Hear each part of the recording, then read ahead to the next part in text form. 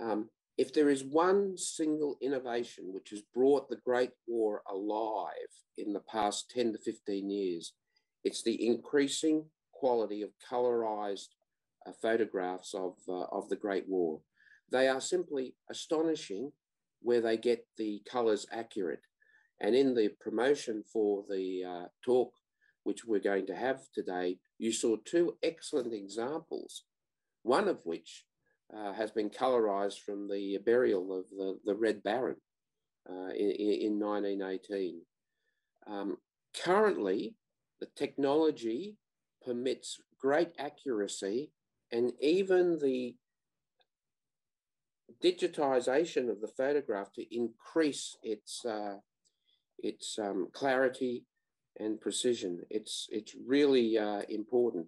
And just to end, there was an exhibition in New Zealand uh, as part of one of Sir Peter Jackson's uh, World War One um, exhibitions in uh, in uh, Wellington that took a, a whole bunch of New Zealand photographs of the Great War, increased them almost 10 times, colorized them and digitized them.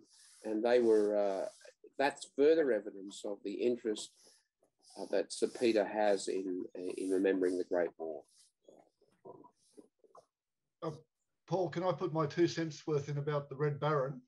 Yes. Uh, that colorization um, the red color that's been, now this is a, a, a potential pitfall with colorization is that the person doing the work has to decide what color do I use. Now, if you look around the internet, most of the renderings of the Red Baron's aircraft are sort of a bright lipstick red, often glossy. But I've got a bit of the fabric uh, received from John Love, actually. And uh, the, um, the Red Baron's aircraft was really a dried blood color. It was a dark crimson. and uh, if you read diary accounts, you find this low, looking at relics in the museums, it's quite obvious that the, the colouring of the aircraft was done in a fairly uh, slapdash manner. And uh, depending on whether they were painting on the, uh, on the darker linen on the triplane or the lighter linen under the wings and so on, they got quite different shades of red. So there are, there are different shades in the museum collections. But um, yeah, so our our colorized photograph on the publicity that was sent out, as people would have seen, uh, to my eye is a bit too lipsticky. It needs to be a, a bit darker. but that, there we go.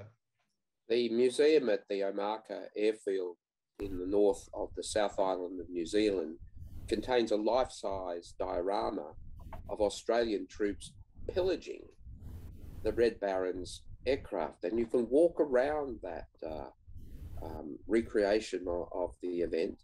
And to his credit, Sir Peter uses that blood red colour. Yeah, yeah, that's right. Can I say that about that diorama? Uh, I imagine many of you will have gone to Omaka, which everyone should do. It's absolutely wonderful. Um, but if if you look at that diorama, you've got a couple of uh, basically people with tin hats on, uh, pulling the boots off the Baron, and I can tell you now, the two boots that were donated to the Australian War Memorial both came from officers in Three Squadron, the engineering officer and the guy who ran the funeral. And the Three Squadron people didn't get access to the Baron until the body was basically retrieved under fire. This is after the, the original um, crowd ran up around the aircraft. And so, al- although the the uh, diorama, you know, has a lot of presence and it's very well done, uh, it, it, probably doesn't represent the real scene that was there. And in particular, um, the tin hats and things, the crash occurred well behind the front lines, you know, back in the artillery lines. And uh, I can well imagine that people wouldn't all have been kitted out as combat troops. You know, there would have been a lot of drivers. I think many of the people who deposited evidence were, you know, drivers and other artillery lines people. I um I've just had recent correspondence with a descendant of Private Frank Wormald um, via our website. Andrew sent it through to me or via Facebook. Um, Jenny Birchall, who's a granddaughter of Private Frank, and Private Frank um, helped Lieutenant Fraser pull the body out with the help of two other two others. They, the two of them tried, and then and then they they needed four of them to pull out the body. and then they laid it down. And I think on that diorama we've got Fraser and Frank, because Oh. they're the two people who are with the body at the body at the head of the body. But you're right, Yeah. there are then people pulling on the feet. Yeah, also, I, I'd be confident that the boots made it back to three squadron. Yes, yes, yes, yes, yes. Although to be fair, I was looking at Dale Titler or Titler's book, and he talks about he he he, has a, a letter from some some soldier who said that he pulled the boots off at the scene. Well, I mean, they, they might have been confiscated again. You never know. I, I- I wonder whether they in fact were. There was a degree of uh, criticism of what was going on.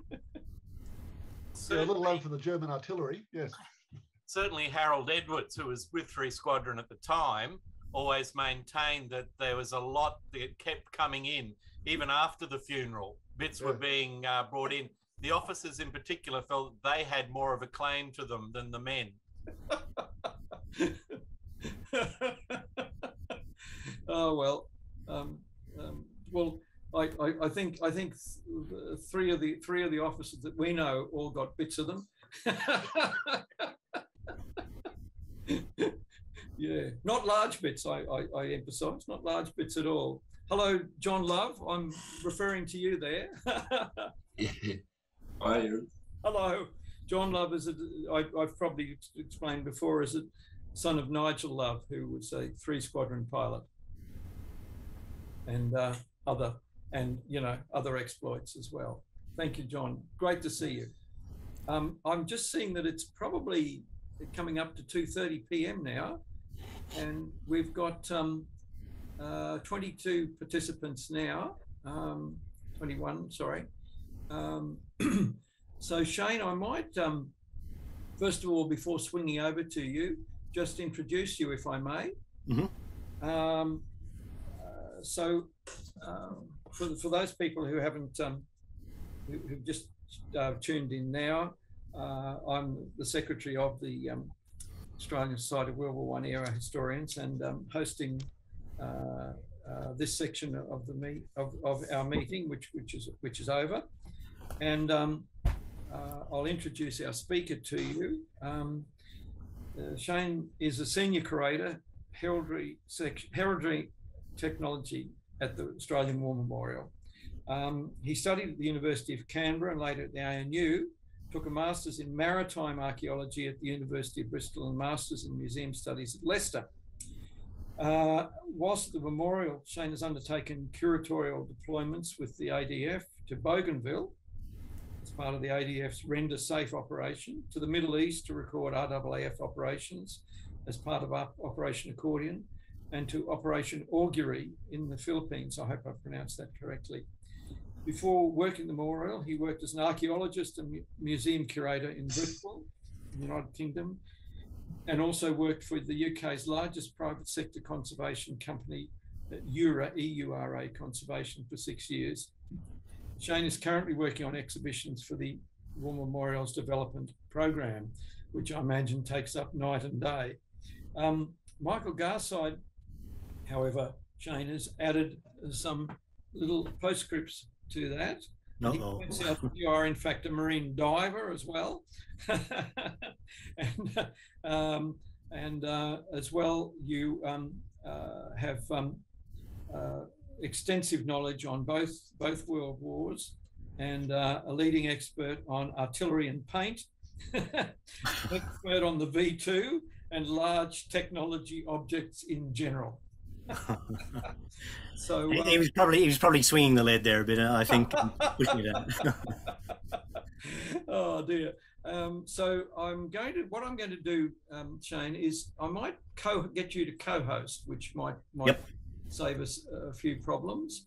Uh, okay. And I'll just make co-host. There we are. Let's see if that works. Yeah, to co-host this meeting. There we are. Right. And will that allow you to share? So I'll, I'll click the share screen now, and, and if you can tell me, Des, if it works or not. Yeah. Uh, Yeah. yeah. uh, where are we? There we go. That one there. Can you all see that? Yep. Oh, fantastic, fantastic. Okay, uh, and I'll just um, I'll just start, I'll maximise. just say one one other housekeeping item. I I won't mute people um, unless there's a bit of noise coming in, if that's all right, Shane. Yeah, yeah, yeah. And are you okay to take some questions on the way through? Yeah, absolutely. Yeah. That's that's that's terrific. And finally, uh, over on the right hand side of your view, at the top right of your screen, anybody, uh, if you want to reduce the number of photos there, you can go to the options under view and remove the screens of other people there if you wish to to get a full picture. Uh, that's all I have to say. Um, Shane, I'll Okay, leave it great. over to you. Thank you very Oh, oh, much. fantastic. Thank you. Um, well, thanks very much for inviting me to talk today. Um, just um, the, the, the discussion we had just a few minutes ago was really interesting. We, we've got quite a number of um, Red Baron pieces, and uh, one of your members, Col Owers, and I have looked at all of those pieces. And uh, very, very interesting in terms of the colour and the, the degree to which they've oxidised or, or whatever. But it's also interesting that there was this real trade very early on in selling pieces of the Red Baron material. So often you get, I don't know whether you can see my image there, but pieces about oh, four inches by four inches cut, and they're very, very square. And um, one of the pieces that we had was painted a very, very, a very lipsticky red, and um, it, looked a bit odd, you know. And uh, but on the other side of that was um, night German night lozenge fabric, you know, and it, and it was it was pretty clear, I think, that someone had had somehow got some of this German night lozenge, had painted it red, and then tried to flog it off as Red Baron material, you know. And for many many years in our collection, it was that was its title, you know, Red Baron fabric. And I think it's really interesting as an artifact in itself, not just because it's got the night lozenge, but because it's evidence of that very, very early attempt to cash in on the, the Red Baron's, um, you know, fame and popularity and everything. Anyway, uh, enough of the Red Baron. Um, we could talk about that all the time. Oh, although I should say, next year, next financial year, we're hoping to get a, a really sophisticated um, colorimeter or colorimeter uh, that will allow us to um, uh, take really good, um, very, very objective recordings of colour on all of these things. So one of the first things we want to do is um, field grey items, for example. You know, there's there's a, a whole array of those, and we just want to be able to, if you like, track down and find out um, which factories specialised in different colours, or whether parts in our collection that have become separated over the hundred years can be reunited through an analysis of colour. So it's a it's a very very expensive piece of kit, and um, we haven't got it yet, but we're we're really pushing for it. Now, onto the um, presentation today. Um, so I, uh, part of my screen's sort of blocked out by the, the Zoom thing, but um, I want to talk to you today about five large objects in our collection that have been in our collection, um, most of them for a very, very long time. Uh, four of the five have been with us for oh, over 100 years now, and the last one um, has only come in in the last two or three years. They're all related to the First World War, and three of them, as you can see on the screen there, are uh, German Riesenflugzeug um, artifacts, so the really large uh, multi-engined aircraft. Um, now, why did why did I select these particular objects? Um, well, as it says there, uh, there's only one that's ever been um, uh, displayed before, uh, and that was actually displayed for an awfully long time with a completely wrong nomenclature. You know, we uh, it's it's one of the failings, I suppose, of any institution that, that goes on for hundred years. The information gradually gets diffuse, and the people who originally collected it um, have long since died, or material becomes disassociated from the information that was originally with it. Um, and and so we're constantly, constantly relying on people like yourselves to put us on the right track. You know, we don't we don't know everything. You know, we're not we're not the experts on every single item. Uh, far from it. And and really, you know, all the time we, we have people like Colin, for example, or or, or Gus, um, putting us right on these things. Now, um, each one of these objects uh, has has a has a problem or a challenge or a, or a set of challenges. And one of the first is identification. You know exactly what are they and why are they important? Why why do they take up our real estate and why should the the government and taxpayer ultimately um, pay for their continued preservation? And also, some of them are really quite um, tricky. They're they're large. They're they're fragile, um, they have issues of dangerous materials inherent in them, and some of them have a thing called inherent vice. So the materials from which they're made are gradually over time degrading and becoming more friable or sometimes chemically changing into a different um, product that's that then becomes dangerous in itself. Um, now, the the first two items are um, I, I very familiar. I'm sorry. I'm, oh, I missed that. I don't know whether that was a, meant to be on screen. All right, right. Um, the the first two items are from uh, the aerodrome at Morville, and um, so these are recovered by the Australian War Records section from uh, from Morville. Morville was uh, was a big, uh, basically one of the first strategic bomber um, air bases ever to become operational, and and as it says there on the screen, uh, housed that particular unit which flew the the massive Jep- Zeppelin Staakens. Um, uh, which uh, you know when you think about it, we've got a Lancaster in our collection. It's got a 30 meter wingspan. People ooh and ah about the size of it, but it's nothing compared to the size of a Staaken.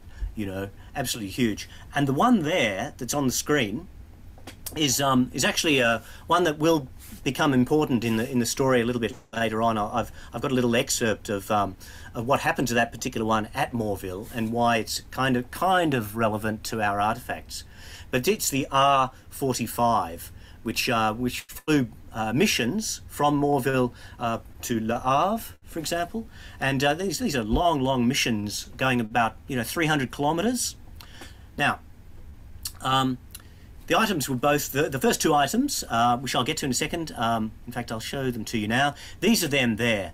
The red coloured thing is a is a beacon uh, from a 32 metre high lattice mast, and it housed an electric light. It was basically like a little lighthouse, and connected to the beacon. Uh, running down the lattice mast was a telephone cable and electrical system connecting then with the airfield at Morville, which was two kilometres away. And the item there on the right hand side, which I'll get to in a bit, is a landing light from Morville. Now, that's a picture there of the, the landing beacon on its lattice um, uh, mast. And you can see it's an enormously huge thing. Down at the bottom, we can see a couple of Australian soldiers, and these are, um, we think these are, uh, there's an individual from the 23rd Battalion and an individual from the 7th Field Company um, Royal Australian Engineers. Um, and uh, and you can see the, the beautiful countryside around there. The um, I've zoomed in on some of the photographs that we have of this. Uh, they're all glass plate negatives, and uh, that's the base of the tower there. And just to the left of it, you can see an AWRS um, uh, car, and then the, the the thing just in front of the car is a is a Belgian cow. the um, one of the great things about um, some of the glass plate negatives in the collection is just the extent to which you can keep zooming, zooming, zooming in and see all sorts of details that you never thought were possible. Um, this photograph uh, shows the removal of the beacon. Um, so it was, uh, you know, immensely heavy. Uh, it must have been quite a dangerous and, uh, you know, sweaty job getting it down, and and it, it, took one and a half hours to get down.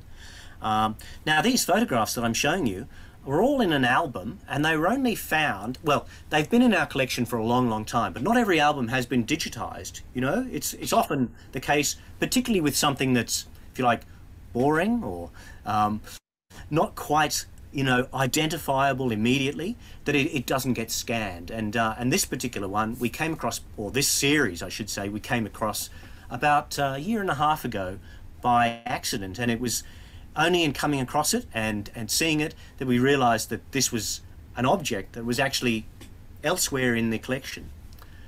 Uh, this photograph shows the, the, some of the people responsible for um, taking the, the thing down. Now, if you see the, the front tyre of the car, just in front of it, lying on its side, that's our uh, landing beacon as well. Um, in the process of taking it down, unfortunately, they they smashed most of the glass, and uh, it was recovered and brought back to Australia. But in the hundred years since, it's long since disappeared, and um, I'm hopeful that we, you know, we might be able to find it one day or bits of it. Um, that's a, a close up. Uh, in fact, that's interesting. It's sort of um, modern uh, red Red Baron red, isn't it? Really, lipstick red. But you can see details there of um, of some of the electrical cable, particularly on the right hand one going up, and uh, the left hand one is is the base of the uh, of the, the the thing. Now, this photograph is interesting in that it it allows us to sort of say, well, hang on a moment, we've got buildings around this beacon. Uh, can we possibly identify exactly where it was? And for a long time, you know, I was looking at Google Earth. I was trying to, I drew little maps of these buildings here to try to work out, you know, what they looked like in plan view and whether I could then match that to buildings around Morville, Flavion, uh, in in uh, in that area. Um, and with, with no luck, you know, it was it was really really difficult. And I, I came to the conclusion that um, over the hundred years and two German occupations, the roofs have changed, de- developments happened, etc. You know, and the buildings have been knocked down or or whatever. You know, maybe there's a supermarket there. Um, but then I came across this one here, and this uh, this little photograph shows a little roadside chapel, and uh, it unnamed but very very clear to the the beacon there, and um, you know came to the idea that well this this can't have disappeared. You know, if it's a chapel, it's a very religious area. Let's have a look for those. And um, and again, though, I, I, was I was thwarted because time and time again, I found actually four of these little roadside chapels, all within about a 10 kilometre radius of the airfield. And and I started to um, actually you know give up the the possibility of finding it. But then, luckily, I found this one, and this is the Chapel de la Vierge um, and it's in a completely different um, direction to the one I was looking at. I've, I've now, this is um, a screenshot from just Google Earth, you know, and Street View.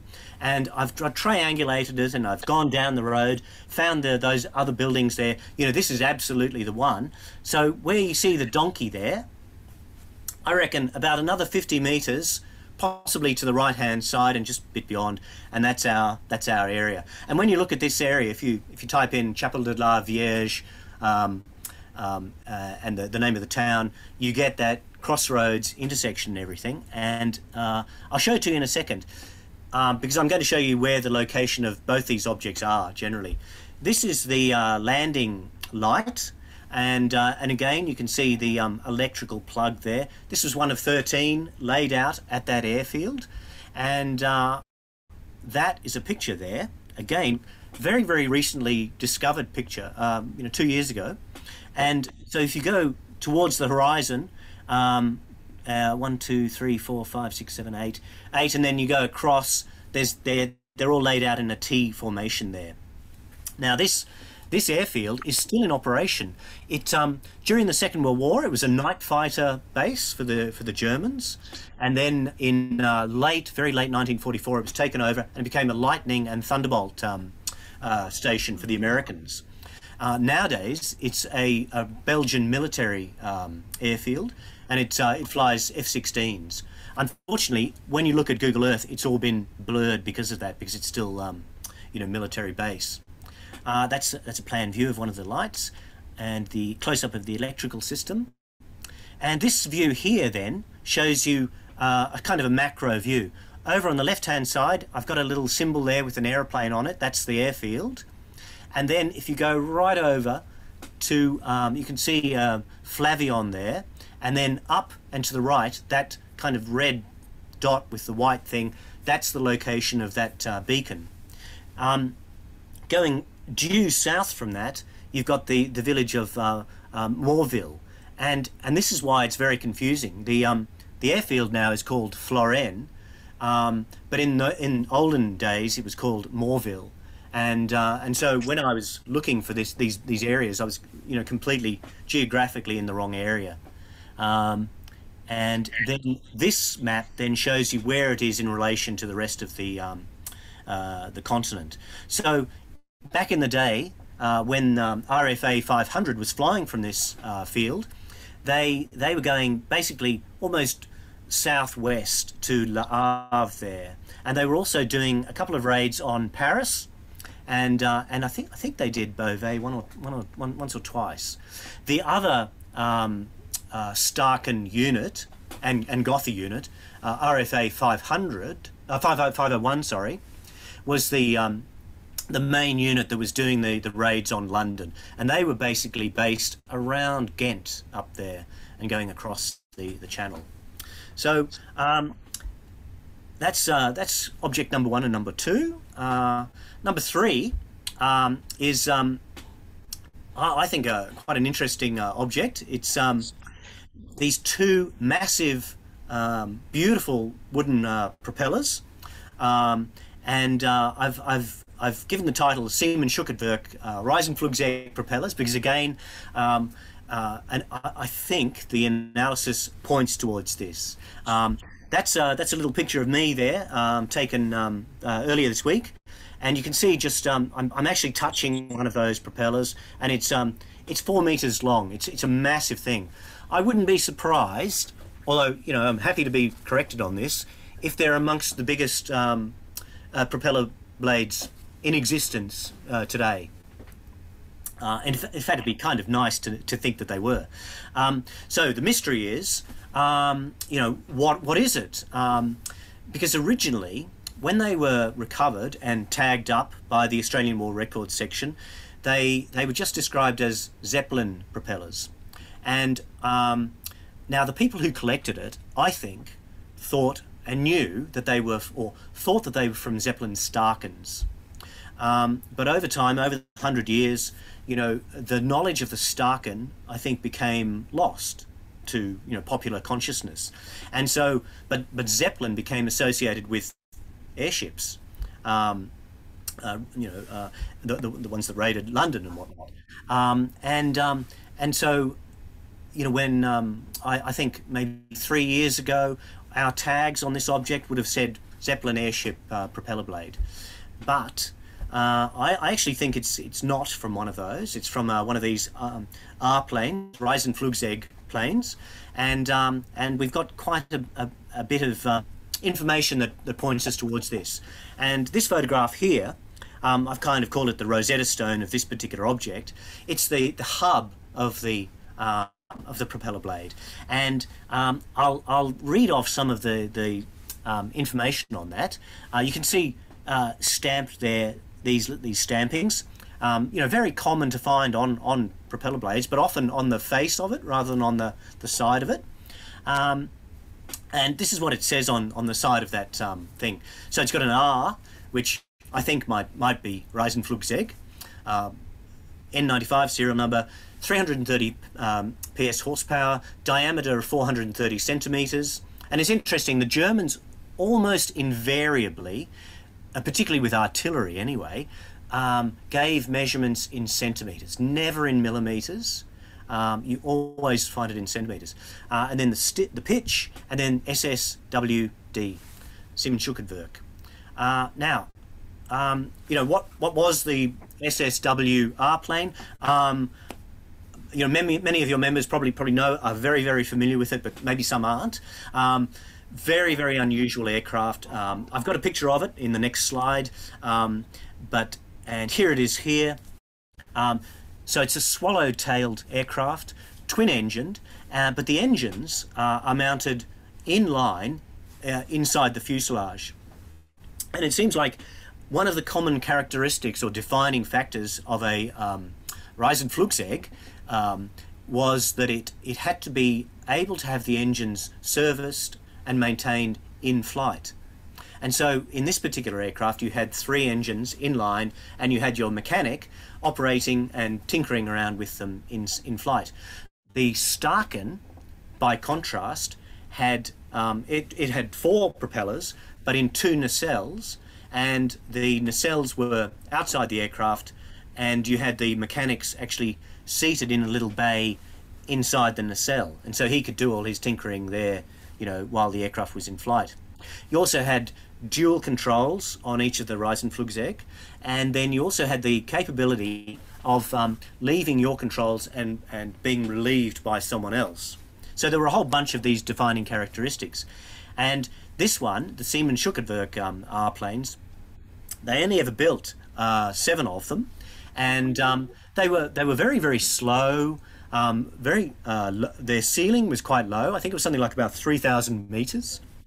Excuse me. And they were mainly used on the um, eastern front. they were only brought to the uh, Western Front or, or to, to Cologne anyway after the, the fall of the Eastern Front, and they would have been pretty much you know mincemeat for the um, our fighters on the on the Western Front.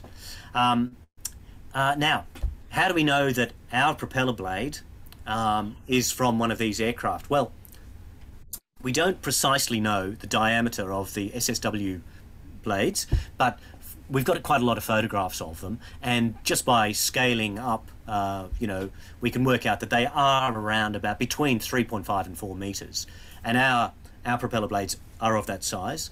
We've got SSW stamped on them, which is you know a tick, um, but the the key thing is the the horsepower rating, and and it, it takes a bit of mathematics here, because um, when you look at the the different types of engines fitted to the different types of SSWRs, and they changed over time, it's clear that um, most of them, most of the, the seven of them, were fitted with three 220 power horsepower uh, Benz engines. And so when you add those the horsepower up, you get 660 divided by two, and you get your 330. And these these engines, um, the three of them, were all connected via a, uh, um, um, a conrod sort of um, drive shaft, I should say, to the um, the nacelles. Uh, and a very complicated sort of gearing system that allowed it to run. So what happened was if you lost power in an engine, for example, you wouldn't lose all your power to both engines. You'd just lose your some of your horsepower. And so um, at, at the time, they thought, you know, it, it might be a better thing to have all the engines inside the fuselage because not only is the, um, the mechanic able to communicate with the pilot very, very easily, um, but he's also in relative comfort. And if you lost power in an engine, you wouldn't suddenly get asymmetry in the, the power of the engine, you know. Whereas with the Staaken, if you lost an engine, you'd suddenly get, you know, one engine sort of, you know, overgearing. Now it turns out that they that wasn't such a problem for the Staakens. They, they were very easily able to accommodate that. And there's quite a lot of stories of them over London, for example, and um, the oil supply, for example, freezing up, you know, in one of one of the engines, and them actually being able to, you know, open up the fuel can and and heat it and and manually add the fuel the, the oil, you know, to the engine and everything, and um, and the pilot, you know, if he was experienced, being able to accommodate it. Um, but early on in the war, 1915, 16, that wasn't uh, the case. They didn't really know that they were capable of doing that. Uh, now, this is the uh, possibly the, the, the, the, proof of the pudding, if you like. And this is um, uh, I tried to get this for you as a as a really big download of a of a glass plate negative, but um, uh, I'm afraid the technology kind of failed me. That's the best I can do for you tonight. Now this was um this is a really strange photograph. You know, it's taken at Bickendorf near Cologne. So four squadron um, um, uh, went there in um, oh, very late in uh, 1918 and stayed there for a number of months, you know, in 19, uh, 1919. And, um, and their um, war record is all digitized and online. You know, have a look at that. I'm sure you've many of you have probably gone through that, but it's really interesting. They, there's lots of stuff in there about um, not fraternizing with the German population and all that sort of stuff. Lots of really good social history. But this guy, this photograph shows that same really really tall structure. You can see the two engine nacelles there. You can see the drive shaft going to the center of the fuselage. And the one thing that really kind of um, threw me for a long time was that that wheeled dolly sitting underneath, and because you know that that just didn't doesn't appear in any of the drawings, and you know what's going on there. But then when you scan this in, and um, we've got it as a glass plate, as I said, if you go in, zoom, zoom, zoom right into the, the wheels, you can see very clearly that they're not part of the aircraft structure. You know, they, they've been added to maneuver, maybe to drag that, that uh, structure off the off the airfield and, and, clear the runway or whatever. So it's a bit of a bit of a um, red herring that. Um, the next photograph is really poor quality again, um, but this shows the same aircraft but maybe a month or two afterwards. And so this is taken from the port side and uh, it's the same one. You can see the, the swallow tail starting to develop there, just about halfway through the, the, the middle of the photograph. So it's um, fascinating aeroplanes, these, these ones were. And the so getting back to the object though, um, it's um, I think it's really, really, if it is from one of these aircraft, and I'm kind of convinced myself that it is, then what we've got is possibly the only surviving remnants of this particular class of aircraft. Mm-hmm. Now, uh, going, oh, oh yeah, here we go. That's just um, that's a close-up of uh, the tip of one of the aircraft and you can see the, the finish is starting to really craze. You can see the laminations there and you can see just on the left-hand side what uh, in boat building would be called a Dutchman. Uh, it's a, a, nice little repair, presumably done by the Germans. Uh, close-up again of the, the crazing. This is another uh, number two of the uh, propeller and clearly there's a different finish going on here and it would be really good to get some you know some um, um, chemical analysis or, or, or, whatever done of what the finish is. I think. Uh, oh, here we go. That's that's that's it. Next object. Um, kind of aircraft related. Well, I, you know, I'm pretty sure it is. Um, this is one that came into the collection uh, very very recently, um, and it, it, came from Canada uh, as a um, as a loan, but a long term loan, and we're we're making overtures to the Canadian War Museum to actually um, get it transferred to us uh, for good. So it's, uh, again, made by Siemens Schuckertwerk, the same company that made your uh, beautiful swallow-tailed aircraft. And it's, um, it's, as far as I know, the only known German um, Scheinwerfer in existence. Um, now, um, the um, when you look at the, the pedestal on which it sits, you've got these two arms that come out. They're the means by which one person could adjust the azimuth and another person could adjust the uh, elevation of the thing. Um, the glass, if you look at the glass, you see you can see there's uh, these vertical panels on it. Each one of those is a separate panel that's um, not quite touching the other panels. And we think the reason for this is the immense heat that was generated when you were shining your searchlight caused the glass to expand. And, uh, and it's a bit like, um, you know, wooden uh, frame and panel construction. You needed to allow for that expansion and contraction of the glass. And then the thing has this fantastic um, iris, just like an, one of those old-fashioned, um, you know, SLR reflex cameras, where it can it can open up and close, and it's all perfectly working. It doesn't. We don't have the carbon rods and things, and we don't have the electrical system that would power it. But it's um, it probably could could be functional. Um, there's a photograph of it um, in operation, uh, or I should say in transport. Uh, that's a, an Austrian um, unit. And you can see those vertical panels very, very clearly there. There's a sort of bars that go across it to stop them from being smashed. This is a, a smaller version of a Scheinwerfer. I just wanted to show you kind of the, the nature of the beam and everything. That's uh, the Schwein, uh, the, the the light thrower in in war is, is basically that translation, and it talks about the um, the Boehm uh, uh, Beobachtungsofficer is a sort of an observation officer, and a telegra tele te telegraphist. Um, now, what are the challenges of this object? Um, well, well, when it came to us, it was uh, chock full, as you'd expect, I guess, of friable asbestos. And uh, this is the, the, the really nasty asbestos that isn't bonded to anything. You know, you touch it and it just, you know, forms a powder. And really, we, um, we had enormous difficulty even bringing it into the country. We had to get all sorts of exemptions and things to, to, to bring it in. It had to be kind of hermetically sealed to, to bring it in.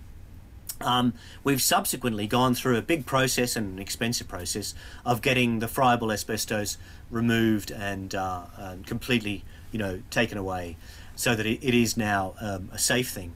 Um, it had some damage um, at some stage. You know, some of the um, um, uh, elevation mechanism was was was was operated beyond the point of safe um, operation, and we had some some elements actually pierced the side of the thing, and we've also got some missing elements from it, um, particularly the carbon rods and things like that. Um, and but but the one of the big problems with it is is provenance. Uh, I've got a question mark there. We we are pretty sure that this particular one is one that was captured by an Australian infantry battalion. Um, and um, you know the, the, the war diaries and the AWRS records certainly point to um, you know a, a precise uh, um, replica of this one being captured by them um, and and and and rescued for AWRS and Australian Mu Museum um, life later on.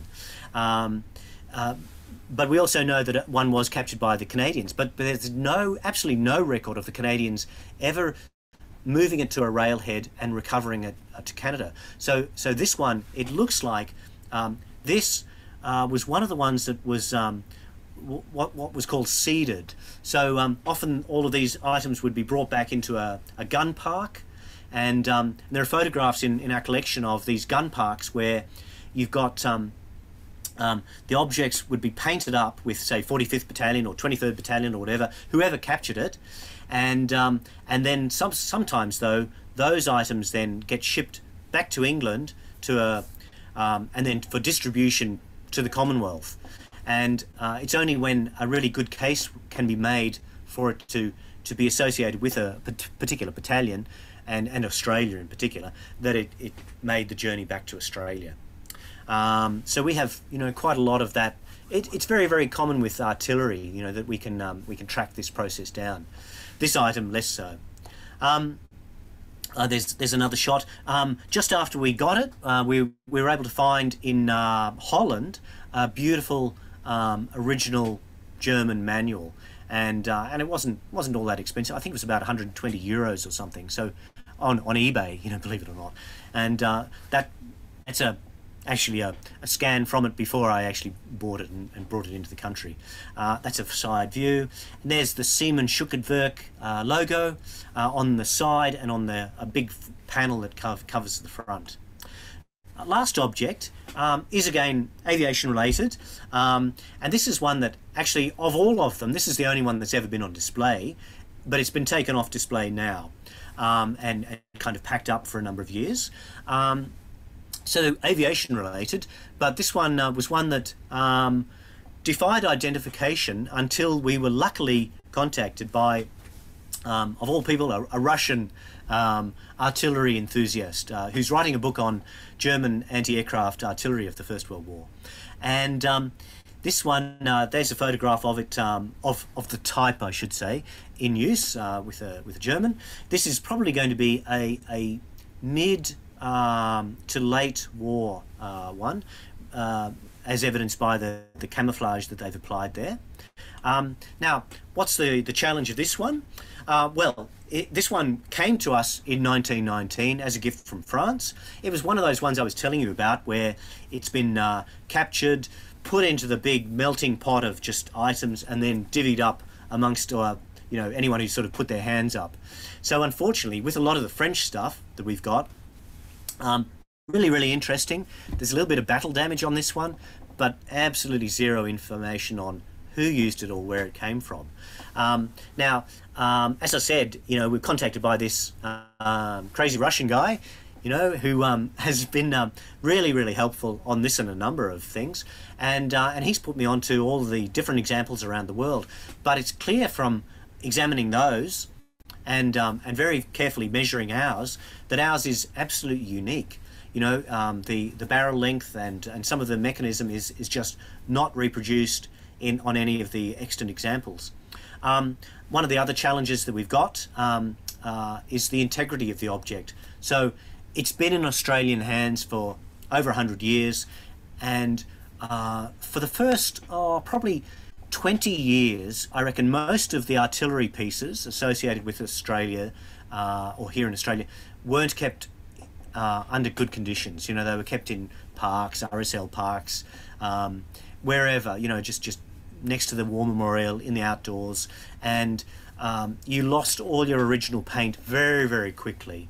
You lost all of the um, the leather work on any of the the, the, the hand wheels or um, seats. Um, often, some of the, the bronze work or the brass work would be stripped and and and you know stolen.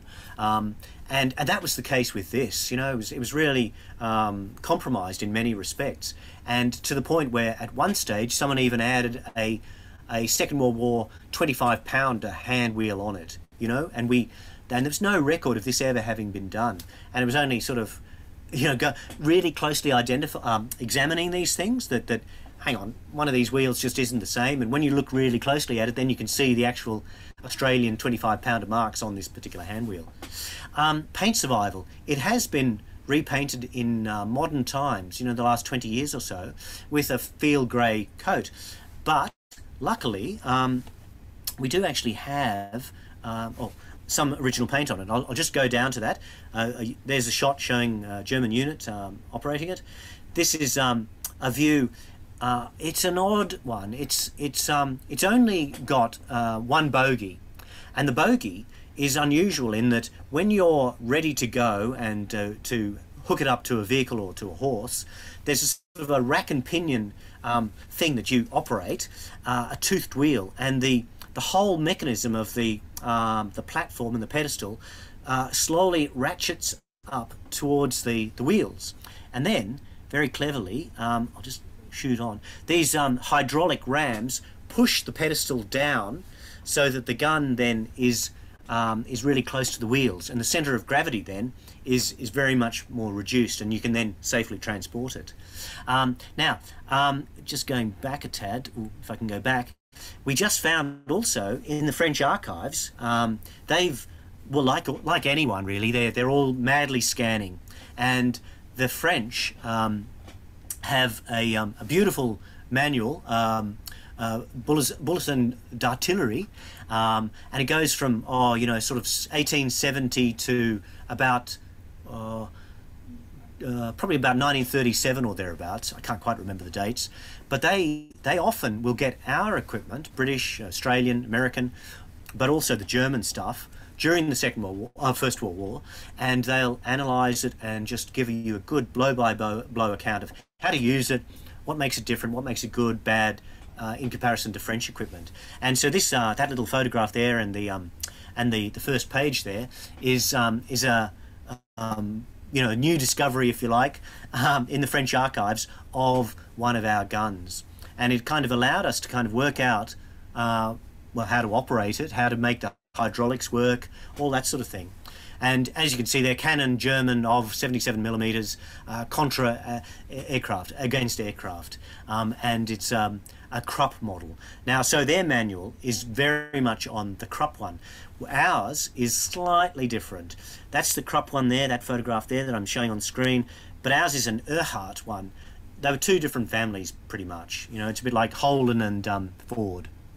And the difference is that um, there's there's a completely different uh, hydraulic ram system operating.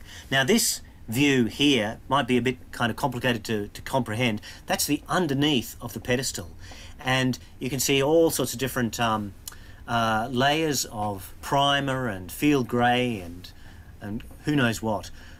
Very compromised paint, but nonetheless original to its manufacture. So really, really good. And, and when we get that uh, U-Butte colorimeter that I was telling you about, hopefully we can, um, you know, get get cracking on things like that. Um, there's a view of its uh, breech. So this one uh, was actually built for the most part in 1913. So it's actually before, you know, this anti-aircraft gun predates the First World War, shows that the Germans were thinking about anti-balloon, anti-aircraft um, uh, operations, uh, but they continued building these during the war and uh, and modifying them. And this one, uh, this breach uh, was actually made by Rheinmetall, who you know went on to to all sorts of huge things during the, the Second World War and are still going, pretty much. Um, and S flak, that means uh, socle flak. So the socle being the, the, the, pedestal or what the, the French would call the bascule um, that, that it was sitting on. Um, there's a close-up of the um, kind of a, an identification plate showing the, the main guts of the thing built in 1913 and uh, Rheinisch Metallwaren. And um, so basically that comes kind of to the end. Um, it's um, you know why why these objects? Well, they're all they all represent um, aircraft related objects. The um, they all represent museological challenges to move them, store them, preserve them, uh, um, uh, interpret them. Um, but uh, you know, we see when we progress on to the 1930s, 1940s, all of these ideas, you know, multi multi-engine aircraft, searchlight batteries, anti-aircraft systems, um, trying to navigate in the dark, trying to find your airfield. All of these things really, really become um, a key part of the strategic air campaigns, both for the Germans and for us and the Americans um, in the Second World War. And and so, in many respects, in all of these objects, kind of hark to that um, that that system. Des, uh, that that's me finished. Shall I sh stop share? No, you, don't, have to. That's all right. Oh, oh that, that is me kind of finished. Oh, actually, just before I do, um, we might have some questions. oh, oh can, can, I just quickly, yeah. quickly read out? Right at the start, I showed you a picture of a Staaken number R45, and I've got, I've got the, um, the old-fashioned. Um, this is uh, Haddow and Grosz, the German Giants, which is a fantastic book, all about those Riesenflugzeugs, and he talks about a particular incident that is is central to the airfield of Morville and and um, and to our lights, if you like. He says, um, can I read out a little bit for you? Yeah, yeah, yeah. On on the 9th of August 1918, the R45 um, uh, left um, uh, for Hanover, and the next day continued to the RFA 500 airfield at Morville. That's our airfield. Um, the, the, two lieutenants on board um, uh, took off to bomb Le Havre. After the raid, the R-45 received a wireless message warning not to return to Morville because enemy aircraft were over the airfield and the landing lights, that's our landing light, could not be turned on. But the fuel supply was too low to continue on, forcing the commander to make the decision to land. The wireless operator notified the airfield and asked that ground personnel signal with flashlights. The first and second landing attempts failed, and it was not until a number of flares had been shot off that enough illumination was provided to enable the pilots to land down on the airfield. In spite of the emergency illumination, the R-45 missed the runway, which the crew noticed by the severe shaking they received. Suddenly, in the darkness, the left wing struck an obstruction, then the right wing, and then the R-45 stood still. In the morning, the damage was inspected and it was found that the left wing had hit, had hit a water tank wagon and a large portable ladder. The right wing had hit construction material and the roof of a peasant house. This fortunate accident saved the lives of 60 men who were sleeping in a barracks directly in the path. So it was, um, uh, I was a bit worried that we didn't have any kind of social history sort of angle to any of our objects there, but um, luckily found that little little excerpt. It seems that these Staakens never had a problem taking off, never had a problem really finding London or Le Havre. They were pretty much always, you know, above the ceiling of the, you know, your Sopwith Camels and things. I think there was only one or two that were actually shot down by enemy aircraft, but it was always coming into land, or, you know, that was the, the killer. That was when they all went, you know, and the same with the Gothas. That was when they all had their accidents. Um, so, um, yeah, being able to kind of um, find photographs relating to those objects and kind of link them together and say that actually, you know, if, um, the, the village, um, um, um, you know, the two villages were, were actually part of the same sort of unit uh, was, was, was really quite, you know, a fun thing to do. Oh, Paul's got his hand up. Yeah. Shane, uh, I want to cut to the chase and ask you two questions. Yeah. As you were looking for the five items, Firstly, did you find anything new or unusual that you didn't expect to find? And secondly, I'm staggered to hear that you use eBay to acquire um, uh, documentary material. How competitive was the bidding for the um, manual for the searchlight? And were there, what can you tell about how you knew to go and bid for it in the first place and that sort of thing? Uh, oh, gee. Looking at the manual, um, uh, no, I think I was the only bidder. Um, yeah. I, I, think there's a pretty limited pool of people who are interested in Scheinwerfers.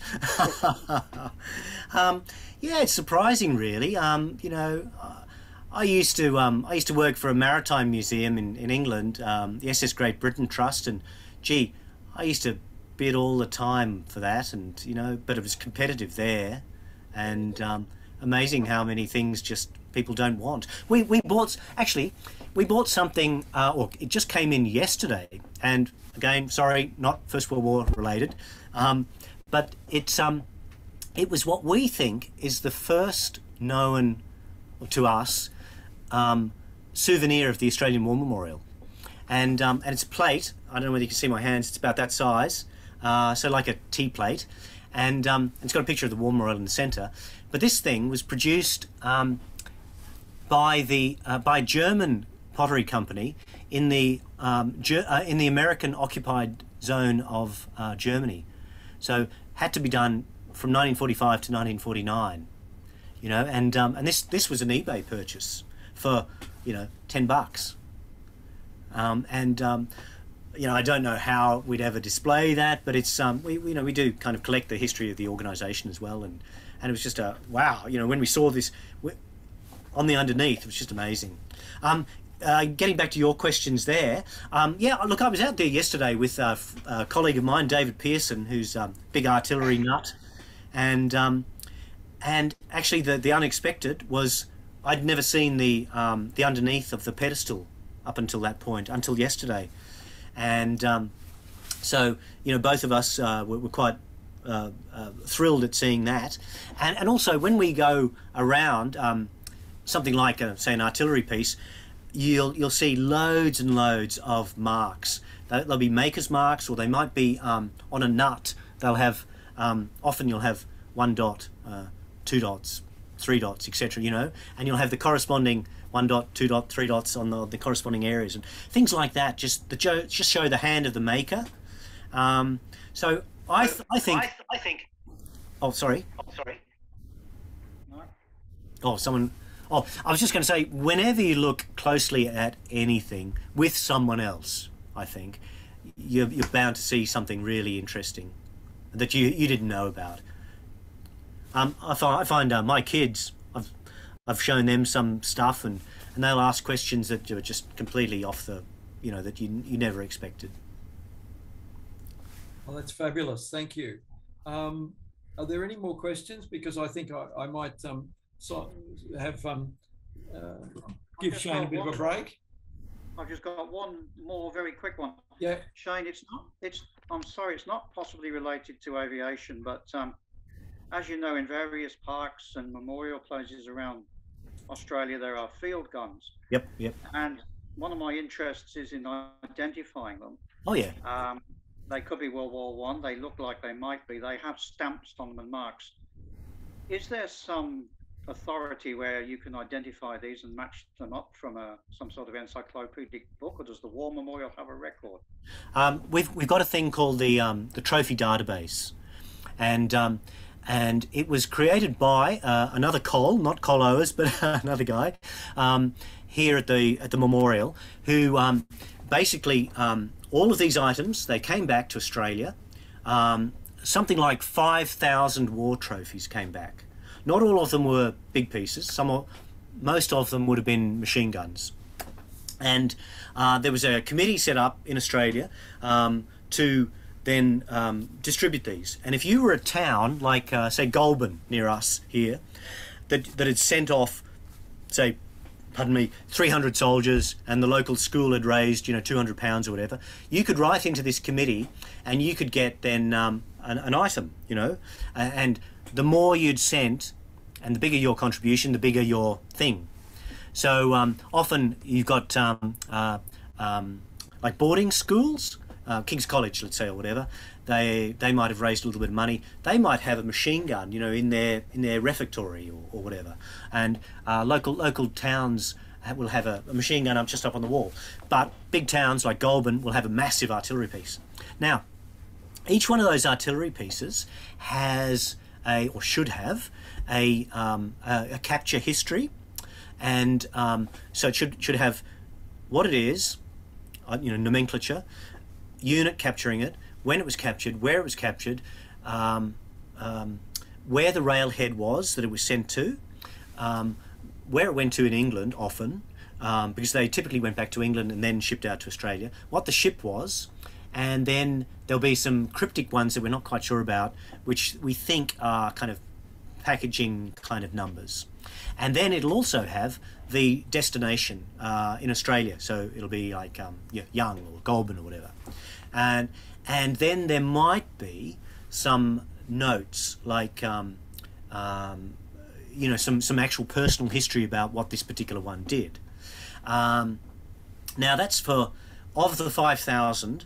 I reckon probably about two and a half thousand will have good information like that. There'll be another whole bunch that will just be seeded weapons. So ones like like that gun that I was telling you about that just came to a gun park and then bam came out here. We know what they are. We know how they were used, but we don't know anything about the capture event. Um, then there are ones that came out here, went out to a town, and then probably in say um, mid 1920s, early 1930s, they started to get pretty awful looking. You know, all the, the original paint's gone. The wooden wheels are some of the first things to go, and you'll find often they collapse, bam. Sometimes they kill people. You know, there are records of some of these trophy guns just bam killing people, and so and but often also there was a big anti-war movement. You know, in um, Australia, England, Canada, etc.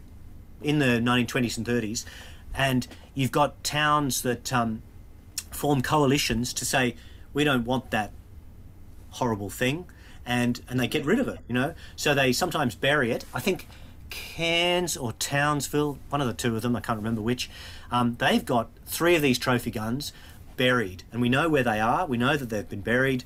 Um, you know we've got photographs of them being buried and they've done sort of bits of dig to find you know yep they're there. Um, they won't be in terribly good condition but they were, would have been buried by the council back then then there are other ones that um, in the 40s, 50s, 60s, you know, were, were just um, scrapped, or in modern times, unfortunately, there's remunerative value associated with these these things. Some have left the country, so we know of ones that have gone to New Zealand and ones that have gone to America. Um, in when I say recent times, the last 20 years.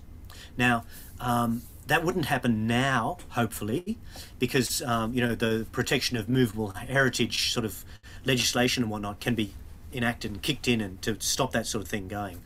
Um, um, but um, uh, getting back to your question or answer or question, um, yeah, we've got this database, um, and it's five thousand long, and and it'll we we we tried and tried to kind of get it up and running on our system um, as a sort of a gazetteer so that people like you and I, when we're going on holiday down to, you know, Melbourne, let's say, instead of going via the Hume Highway, we'd go via the War Trophy, you know, route and, um, and do that sort of thing. Um, so there's some there's some fantastic ones. There's some really original ones. One there's some ones that are absolutely unique, don't appear anywhere else. Um, we have one in our collection uh, that we only identified again about a year ago, and um, and it's of a French 75 millimeter gun that was modified by the Germans to be an anti-aircraft gun. So it's got both French and German stampings on it. We have black and white photographs from 1921, 22, 23 or so of it down in Melbourne in a park, and and then the record disappears. We don't know what happened to the gun. If we still had it, it would be unique all we've got is the breech, you know. But it's enough, you know. It's it's, it's better to have something than nothing. Thank you for um, that. Uh, my where my mother lives in her local park in Camden, there's some mysterious guns, and I'll be able to look them up now. Right. Uh, well, it's it's not online. I, I have to say. Um, ah, okay. Yeah, yeah. Fantastic. Okay. Thank we'll you. Try, we'll try, that's a good. That's a good book. Yeah.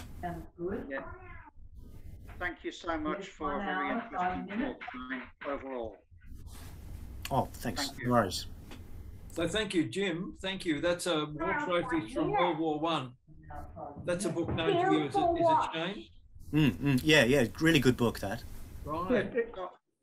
Oh, sorry, I missed the book. I didn't see the book. Sorry. War Trophies from World War One, I, I think. World War mm -hmm. One, 1914, yep. 18. You can bring up the picture if you want to. Yeah. One of the problems, one of the problems we've we've had is that when stuff came into the and you might find find this as well. When stuff came into the country or was captured, instead of being say a um, 105 millimeter gun, the the captors would call it a 4.5 inch or 4.7 inch such and such. You know, and so right from the get go, the nomenclature was was was dodgy, and um, and so our war trophy database has a lot of those things in it, which we're trying to get back. We're trying to get back to the original German nomenclature all the time. Terrific, terrific. Um, look, um, Shane, I think we might finish up here if that's all right. Um, Okay. Yep. I um I, I we are so grateful to you for spending an hour and almost an hour and a half, particularly answering some quite difficult questions in terms of the uh, future of things uh, and uh, uh, and making yourself available. Look, I, I found I found the propeller and the the pieces fascinating and how you related them to um, to uh, you know the aviation and the history and the provenance and, uh, and and and how difficult they are to research, particularly that stupendous propeller. and uh, and look, honestly, the information you've given us in your answers has been just uh, brilliant as well. So um, you know, by acclamation, I think we ought to really thank you very much for that. Uh, you- No worries. It's, it's been a pleasure meeting you all, and uh, and uh, you know hope, hope to see you again, and uh, you know good work on keeping all this material alive. Yeah, yeah, yeah, and we'll be lobbying you. you a bit too on things. Never mind. Thank you so so much. We'll we'll finish up now. Is every that all right with everybody else? Yes. Yep, yep, yep. Okay. Yeah, it's good. All right. Brilliant Thank, Yes, um, presentation. thank you so so much. We're really really appreciative. Okay. We'll, Great. we'll see you later and we'll correspond as well to thank you. Thank you so much. Bye then. Bye everyone. Bye. That Bye, was Bye. Thank you. Bye. End meeting for all. Cheerio.